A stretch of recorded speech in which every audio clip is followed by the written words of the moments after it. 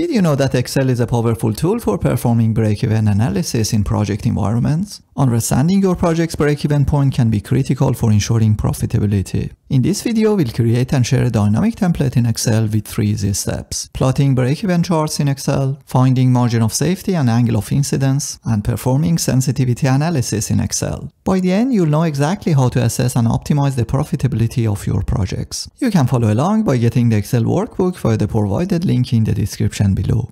Step 1 is plotting break-even charts in Excel. In project management, especially for large investments like real estate, knowing when your project will become profitable is critical. Our case study focuses on a new residential complex project with plans to build 25 apartments or flats. Our fixed cost for land acquisition and permits is $2 million.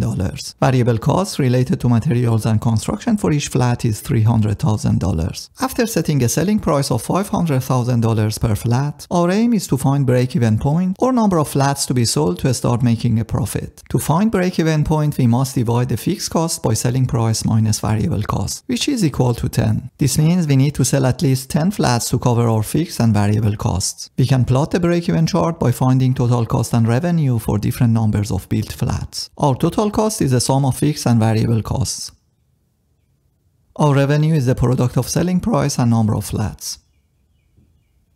To plot the break-even chart, select the data array and insert a scatter plot with the straight lines and markers. Then use the switch row column option in the chart design tab and update the chart style to match your project reporting routine. The break-even point is at the center of our chart where revenue equals total costs. The region of loss is on the left of our break-even point. The profit region is on the right hand side where more than 10 flats are sold and profit is made.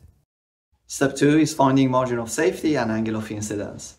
In the context of break-even analysis, margin of safety or MOS is a measure of risk tolerance. The margin of safety helps us understand how much actual sales can drop before the project becomes unprofitable. Margin of safety is the difference between actual sales and break-even sales. For example, if 25 flats are sold, the margin of safety will be 25 minus 10. It indicates that sales can drop by 15 flats before our business reaches its break-even point. In the context of break-even analysis, the angle of incidence or AOI is the angle between the revenue line and the total cost line. This angle measures profitability intensity, and a steeper angle means higher profit per additional flat sold, which makes profit more sensitive to changes in sales volume.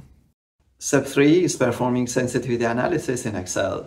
This step helps us prepare for different market conditions and price changes. We should examine how changes in the main parameters of our financial modeling affect profitability. Let's start with determining the base case for the two parameters of selling price and number of flats sold. Based on historical data from previous projects, our base case is 20 flats sold at a price of $500,000. The formula for our profit is the product of number of flats sold and price minus fixed cost plus the product of flats sold and variable cost. Now we must calculate selling price with variations, for example, at 10 and 15% from the base case and minus 10 and minus 15% from the base case. Remember to make variations to one parameter at a time. Therefore, the number of flats sold remains at 20, which is the same as the base case. We can find the profit for these scenarios by replicating the formula of profit. In the next step, we must fix the base selling price at $500,000 and vary the number of flats sold at 10 and 15% from the base case and minus 10 and minus 15% from the base case. We can again replicate the profit formula for these scenarios. To animate this, we can select the two columns of varying parameters and profit outcome. Then navigate to Insert tab and recommended charts. A funnel chart or tornado graph is a good recommendation. Feel free to adjust the style to suit your project management reports. Looking at the chart, profit is highly sensitive to changes in selling price. Even a small increases or decreases in price have a noticeable impact on profitability. The response is asymmetric, and profit increases faster with higher prices than it decreases with price cuts. This suggests that pricing adjustment can significantly influence break-even point and overall profitability. Profit is also sensitive to changes in sales volume, but the impact is not as dramatic as selling price. Increasing or decreasing units sold by the same percentage results in a less steep change in profit compared to price changes. If the goal is to maximize profit, focusing on maintaining or strategically increasing the selling price yields better returns than focusing on sales volume. This means any price reduction should be done cautiously to avoid significant profit erosion. Sensitivity analysis allows project managers to see how sensitive the project's profitability is to changes in price and sales volume. This helps assess risk and make data-driven decisions about pricing strategies. And there you have it, an easy and short implementation of break-even analysis using only three simple steps in Microsoft Excel. If you found this video useful, please remember to like and consider subscribing. I look forward to reading your comments and seeing you in the next one.